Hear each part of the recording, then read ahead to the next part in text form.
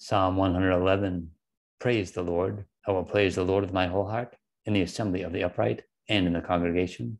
The works of the Lord are great, studied by all who have pleasure in them. His work is honorable and glorious, and his righteousness endures forever. He has made his wonderful works to be remembered. The Lord is gracious and full of compassion. He has given food to those who fear him. He will ever be mindful of his covenant. He has declared to his people the power of his works in giving them the heritage of the nations. The works of his hands are verity and justice. All his precepts are sure. They stand fast forever and ever and are done in truth and uprightness. He has sent redemption to his people. He has commanded his covenant forever. Holy and awesome is his name. The fear of the Lord is the beginning of wisdom, and a good understanding have all those who do his commandments. His praise endures forever.